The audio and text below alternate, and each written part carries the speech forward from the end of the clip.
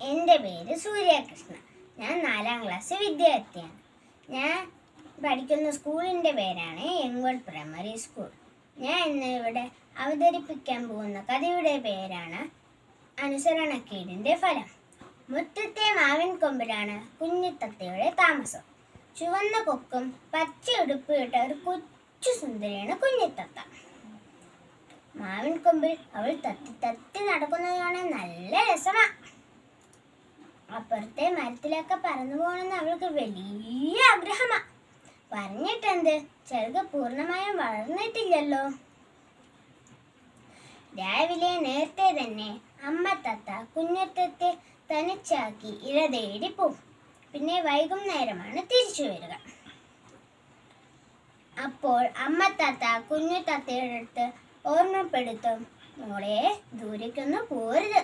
ചുറ്റും ഞാൻ വരുന്നവരെ കൂട്ടിൽ തന്നെ ഇരിക്കണം. അത് കേട്ട് തലയാട്ടം കുഞ്ഞു തത്ത. ഒരു നാൾ അമ്മ തത്ത പോയ തക്കം നോക്കി കുഞ്ഞു തത്ത മെല്ലെ മുറ്റത്തോട്ട് ഇറങ്ങി. അവൾ ചുറ്റും നോക്കി ആരുമില്ല. അമ്മ വരുന്നതിന് മുമ്പ് കൂട്ടിൽ കയറാമല്ലോ എന്ന് വിചാരിച്ചു കുഞ്ഞു തത്ത. പാണ്ഡം പൂച്ച കാണുന്നുണ്ടായിരുന്നു. നിറയെ ദിവസമായി അവൻ ഉം, കൊമ്പത്തിൽ കൊമ്പത്ത് പ- കാണുന്നു. ഇതാ അവസരം മുന്നിൽ. ഇനി ഒരു നിമിഷം വെയിറ്റ് ചെയ്തോടാ എന്ന് വിചാരിച്ചു പാണ്ടംപൂച്ച. പാവം കുഞ്ഞുത്തത്തിയുണ്ട് ഇതൊക്കെ അറിയാൻ അവൾ മുറ്റത്തെ അരിമണങ്ങൾ പൊരുക്കി തിന്ന് അങ്ങനെ ചാടി ചാടി നടക്കുകയായിരുന്നു. പെട്ടെന്നാണ് പതുങ്ങിയിരുന്ന പാണ്ടംപൂച്ച ചാടിക്കറി കുഞ്ഞിത്തത്തെ പിടിച്ചത്. കുഞ്ഞത്തത്തെ കയ്യിൽ കിട്ടി എന്ന് സന്തോ എന്ന് വിചാരിച്ചിട്ട് സന്തോഷപ്പെട്ടു പാണ്ടംപൂച്ച അപ്പോൾ ദൂരെ നിന്ന് വന്ന അമ്മത്തത്ത പാണ്ഡന്റെ തലയ്ക്ക് ആഞ്ഞൊരു കൊത്ത്.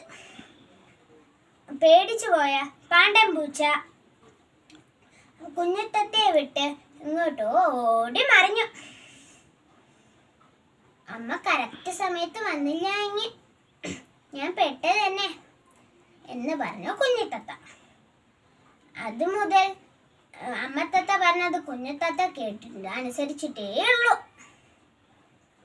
അവൾക്ക് ഫലം കിട്ടി. അമ്മ പറഞ്ഞത് കേൾക്കാണ്ടിരിക്കണ്ടേ.